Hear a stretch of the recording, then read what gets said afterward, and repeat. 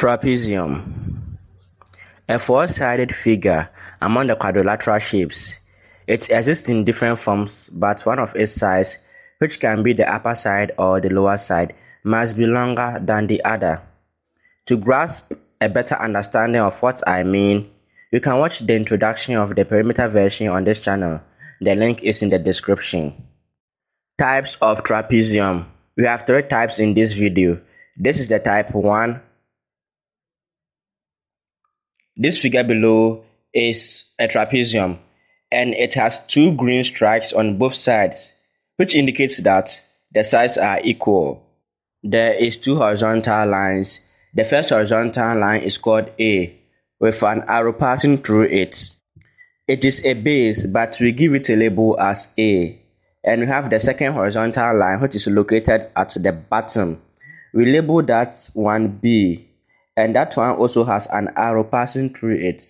We use green color to indicate the arrows here, and the B is another um, horizontal line, which is the base. This trapezium is known as isosceles trapezium. It is made up of two right angle triangle and a rectangle in the middle. So you can look carefully at the diagram and you can witness that.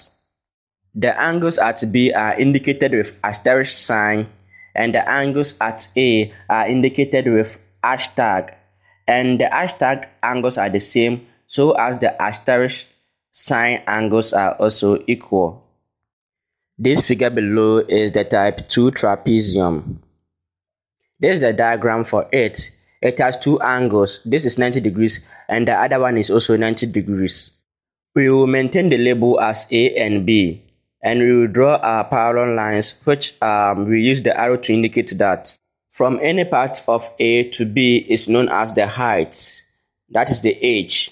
The height is not only vertical but also upright and small dots are indicated in the diagram below to show that this is the height from the A to the B. We have point C. The arrow from B is meeting the C so as the slight line. They meet the C to create an angle which faces the dots or the heights.